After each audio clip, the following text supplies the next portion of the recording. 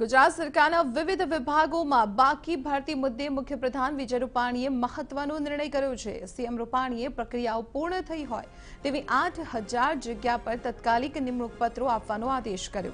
રાજ્યમાં આગામી પાંચ મહિનામાં વધુ વીસ હજાર યુવાનોને સરકારી નોકરીની તક મળી રહેશે. મુખ્યપ્રધાને જીપીએસસી, ગૌણ સેવા પસંદગી મંડળ, પંચાયત સેવા પસંદગી મંડળને પણ બાકી ભરતીઓની પ્રક્રિયા તત્કાલિક કરવા આદેશ આપ્યા.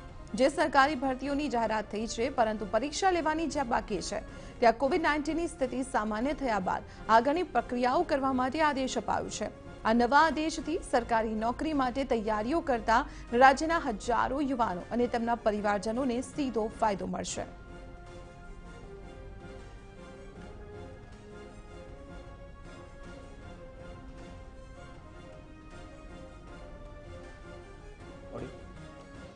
છેલ્લા કેટલાય સમયથી રાજ્યમાં સરકારી ભરતી મુદ્દે અનેક આંદોલનો ચાલ્યા છે. એ આંદોલનો એટલી હદે વણસ્યા છે કે રસ્તા પર યુવાનો ઉતરી ગયા છે અને આખરે સરકારે હવે જાહેરાત કરી છે કે આઠ હજાર જેટલી સરકારી ભરતી કરવામાં આવશે. નિમણૂક પત્રકો સીધા જ આપી દેવામાં આવશે. જીપીએસસીના ચેરમેન દિનેશભાઈ દાસા મારી સાથે છે. તેમની સાથે વાત કરીશું. સર, ગઈકાલે મુખ્યમંત્રી સાથે મિટિંગ થઈ હતી આપની. શું ચર્ચા થઈ? અ, માનનીય મુખ્યમંત્રીશ્રી સાથે ગઈકાલે ચર્ચા થઈ. એમાં જીપીએસસી કોણ સેવા પંચાયત સેવા પસંદગી મંડળ આ બધા જ બોર્ડના માન્ય અધ્યક્ષશ્રીઓ એ બેઠકમાં હાજર રહ્યા. મુખ્ય- મુખ્યમંત્રીશ્રીએ તમામ ભરતી બોર્ડમાં અત્યારે જે રિક્રુટમેન્ટની જે સ્થિતિ છે એની સમીક્ષા કરી અને માહિતી મેળવી કે કઈ જગ્યાએ કેટલું રિક્રુટમેન્ટ કયા સ્ટેજે છે. અને એ પછી આજે સવારના પ્રેસ રિલીઝ થઈ અને તમામ ભરતી બોર્ડને જે એમની જે અત્યારે સ્થગિત ભરતીઓ છે એ ભરતીઓ પુનઃજીવિત કરવાની છે એટલે આગળ વધારવાની છે. આ પ્રકારનો નિર્ણય થયો છે.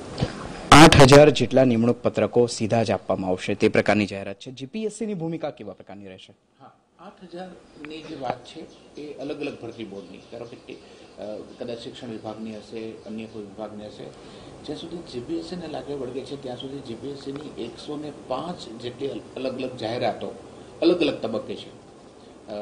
મેં અગાઉ પણ કીધું હતું એ પ્રમાણે કેટલાકમાં પ્રિલિમરી પરીક્ષા થઈ ગઈ છે, એમનું પરિણામ બાકી છે.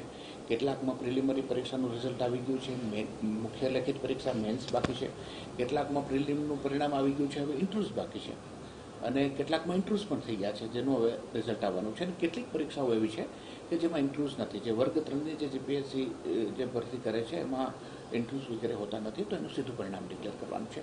એટલે આમ અલગ અલગ તબક્કાની એકસો ને પાંચ જાહેરાતો, જેમાં લગભગ ત્રણ હજાર છસો ને સત્યાસી જેટલી પોસ્ટ છે. એટલે કે આશરે છત્રીસોથી સાડત્રીસો જેટલી પોસ્ટ જે છે.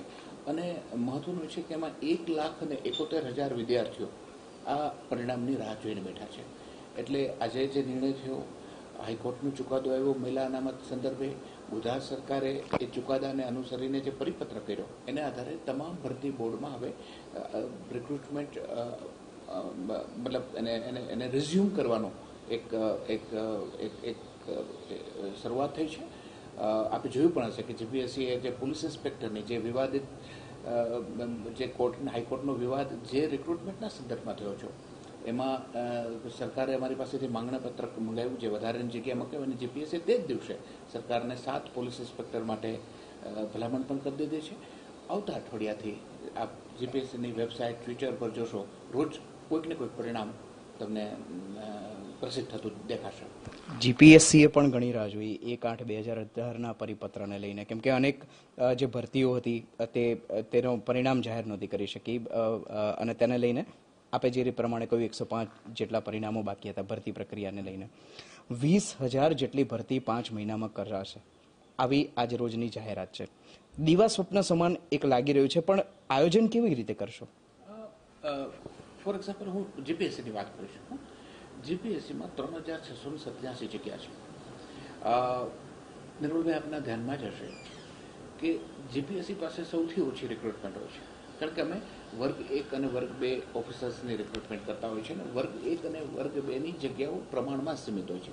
હવે એ જો ત્રણ હજાર છસો ને સત્યાસી હોય તો અન્ય જે ભરતી બોર્ડ છે પંચાયત સેવા પસંદગી મંડળ છે કે ગૌણ સેવા છે કે બાકી જે કંઈ હશે એમને ખબર નથી.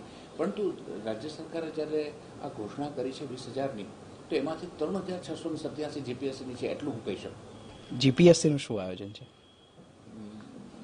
We are on track GPSC બિલકુલ આપના ધ્યાનમાં છે જીપીએસસી વર્ષની શરૂઆતમાં આજે મુખ્યમંત્રીશ્રીના કાર્યાલયની જે પ્રેસ પ્રેસ નીકળી છે એમાં પણ એનો ઉલ્લેખ કર્યો છે કે આ એક વચ્ચેનો એક and twenty twenty is little bit difficult year બે હજાર વીસ વીસનું જે વર્ષ છે બધી રીતના તકલીફવાળું વર્ષ છે કોરોના આવ્યો આ ઠરાવના કારણે હાઈકોર્ટમાં લિટિગેશન્સ થયા અને એને કારણે છ સાત મહિના હતું અધરવાઇઝ જીપીએસસીનું વર્ષની શરૂઆતમાં કઈ જાહેરાત ક્યારે આવશે, એમની પરીક્ષા ક્યારે થશે, એમનું પરિણામ ક્યારે આવશે, ક્યારે ઇન્ટ્રુસ થશે, અને ઇન્ટ્રુસ